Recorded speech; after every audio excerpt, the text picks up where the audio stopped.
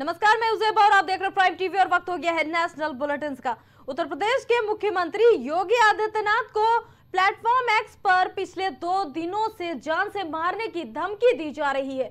मुंबई में पकड़ी गई फातिमा खान के पोस्ट को अब गोरखपुर के रहने वाले युवक रियाजुल हक अंसारी ने रीपोस्ट कर दिया है। इस मामले में अधिकारियों के निर्देश के बाद गोरखपुर पुलिस की साइबर सेल ने मामले की जाँच शुरू कर दी। रविवार को मुंबई पुलिस ने फातिमा खान को धमकी भरा पोस्ट करने के आरोप में हिरासत में ले लिया, जिसके बाद पुलिस को यह पता चला कि वो मानसिक बीमारी से पीड़ित है। वहीं गोरखपुर के रियाजुल हक अंसारी ने सोमवार को सैफ अंसारी नाम से अकाउंट बनाकर फातिमा के धमकी भरे मैसेज को फिर से रिपोस्ट किया है।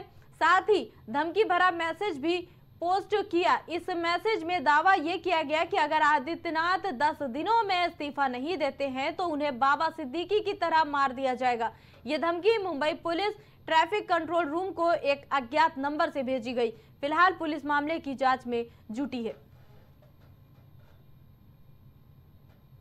प्रधानमंत्री नरेंद्र मोदी के मुख्य न्यायाधीश डी वाई चंद्रचूड़ के घर जाने पर विपक्षी दलों और वकीलों के एक वर्ग ने सवाल उठाए थे, जिनका जवाब देते हुए मुख्य न्यायाधीश डी वाई चंद्रचूड़ ने यह कहा कि प्रधानमंत्री नरेंद्र मोदी गणपति पूजा के लिए मेरे घर आए थे। इसमें कुछ भी गलत नहीं है। क्योंकि सामाजिक स्तर पर न्यायपालिका और कार्यपालिका से जुड़े व्यक्तियों के बीच निरंतर बैठकें होती हैं। इसके अलावा भी हम राष्ट्रपति भवन में गणतंत्र दिवस आदि पर मिलते हैं। हम प्रधानमंत्री और मंत्रियों से बात करते हैं। इस दौरान उन मामलों पर बात नहीं होती जिन पर हमें फैसला लेना होता है, बल्कि सामान्य रूप से जीवन और समाज से जुड़े मामलों पर बात होती है।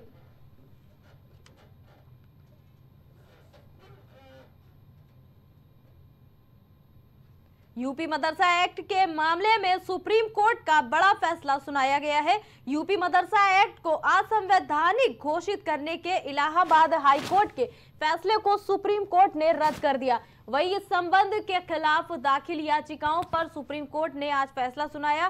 सुप्रीम कोर्ट में जस्टिस डी वाई चंद्रचूड़ की अध्यक्षता वाली बेंच ने सुनवाई की है, जिसमें यूपी मदरसा एक्ट पर इलाहाबाद कोर्ट का फैसला रद्द करते हुए मदरसा एक्ट की संवैधानिकता को मंजूरी दे दी गई है।